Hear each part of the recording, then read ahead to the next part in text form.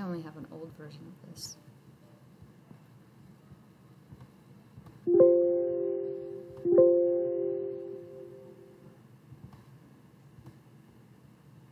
Okay, so on homework two, number, was it number 10? Or no, number 12. Number 12, um, the definition they have in the book, um, the, so you have uh, in the book something like, um, something like this. Well, actually, I, I could pull it up, but you have an integral. It's actually, it's um, the probability that f of a capital Y, I mean, the probability that, um, Is You it have the def- here? Actually, this might have been what you gave us. that I gave, yeah, this one's easier to use, but, um, so the definition I gave you in here, it's equivalent to the definition that they have in the book. Okay. Because f of y is non-decreasing. That's one of the theorems that I had you guys explore yesterday, that I Yep. said was a great problem. So because f of y is a non a non-decreasing function, when you're taking the smallest p that's there, you're actually getting that value that uh, is the same thing that you have in the book. So this, for me, is the easier way to understand it because I can graph it and just chop. I can picture that graph and just chop it off and say, ah, that's where p is. Okay. But to find that p, it's actually a limit of integration. So you can actually see it. There's a picture I saw on the internet that was really good. Let me pull that one up. See if I can recreate it.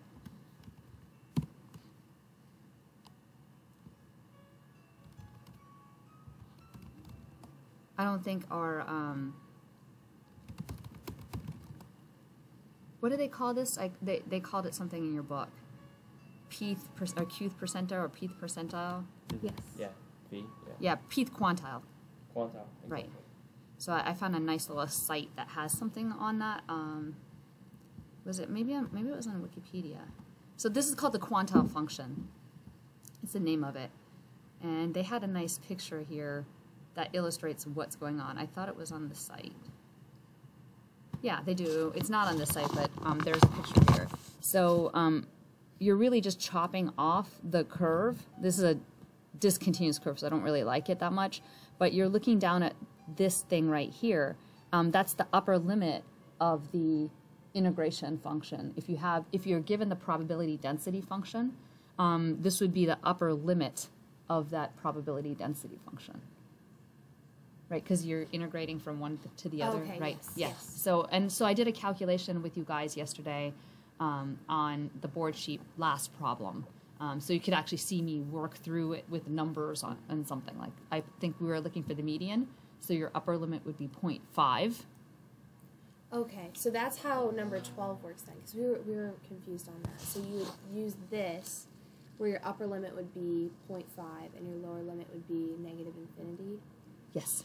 Okay. What did I ask you guys to, uh, to do on that one? You asked for the median. on Yeah, that one. yeah, I said supply the median. yeah. Okay, so The median would be point, up, upper limit would be 0.5. So um, if you wanted the 30th percentile, you it go. would be 0.3. So I think I had that in the notes yesterday. S- Um,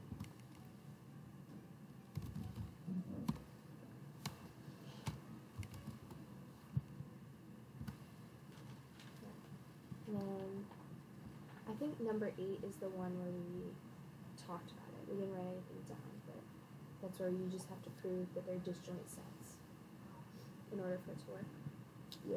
That's the one. So I think, I, I- just to pull back, 'cause like this last problem, I went over it in class, but it's in your board problem solutions. I have to dump that into it. Okay. But you see, like, if you want the median, you want, I put median up there, but it's, that's the missing thing. You would set one half equal to this integral because that's, you want halfway of that area under the curve.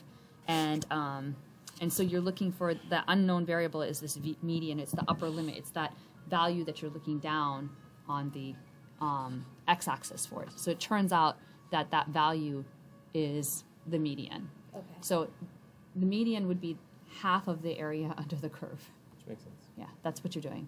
Um, I, I'm trying to think in, is it in 206 that you guys talk about medians? Do you talk about it with discrete distributions or, I think discrete. Yeah. okay. So you kind of remember looking at it and saying the median would be halfway through, through, Yes. okay. Yes. So it's the same thing, but now you have a continuous distribution. So um, halfway through would be the instead of summing it, you're doing an integral, and so you're looking for half of that total area, and then you're taking Okay. looking for that upper limit. When where does that happen? That makes sense. And so I, I did the calculation here um, in your board sheet for showing proving the median was equal to the mean in the case of the uniform distribution. Okay. So it, that calculation is pretty similar. So I'll save it right now into your Dropbox. Yeah, I was looking for that last night. It wasn't there, and I was like, You guys have to remind me because like I, I put it in um I don't want to put it in the I will do that sometime during the semester. I'll accidentally put it in there. Um, but yeah, I don't want to put it in there before you guys are doing the board sheet.